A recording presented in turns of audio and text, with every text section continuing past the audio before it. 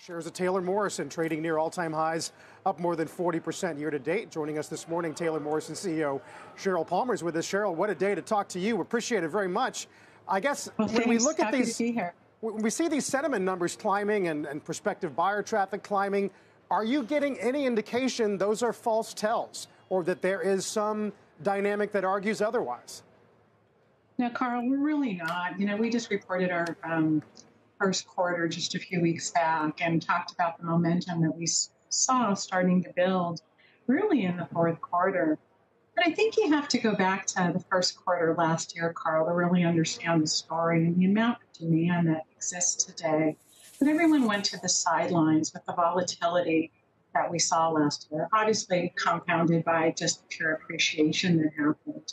So when I look today, we've had much more consistency around rates. Over the last, you know, few weeks, we've seen a little bit more volatility, but certainly not at the levels that we saw last year. And then if you look at just the pure demand numbers and the lack of shelter we have in this country today, Carl, you know, over the next 10 years, we need something between 15 and 20 million new, new units. So um, I think we have a good road ahead. So what is we were just talking about Sheryl? What does the Fed do with that? If one if one of the aims is to I mean, the major aim is to bring down inflation, and shelter is what a third of the consumer price index. If there's an inventory problem that's just keeping things high and keeping demand strong, what what gives there? How do they how do they deal with that? Well, I think we've all been listening for the last few days on what Fed might do this next meeting, and certainly to date, I think we he's going to have a pause. I mean, right now, when we look at the curve, the you know the difference in what we're seeing in short and long term rates is fairly stunning, um, given you know the expansion that we've seen. But I am still a believer that when we continue to see the numbers through the next many weeks, he will pause. I don't know if it's this next meeting, Sarah. Um, but I think what we really need is some stability for the consumer to understand where we're at.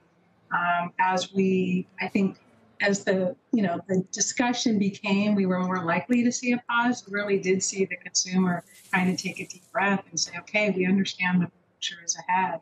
I'm still a believer. By the time we get to the end of the year, rates will settle down from where they are today.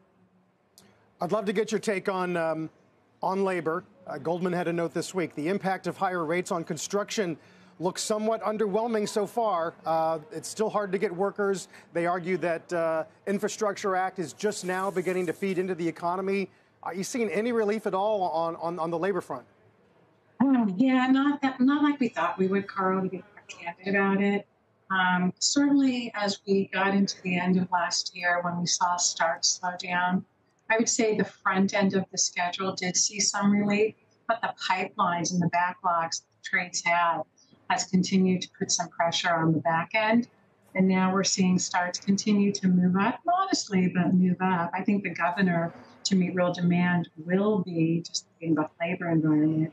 The good news is the supply chain has leveled out quite a bit from what we've seen over the last 24 months. And now we need the labor to continue to catch up.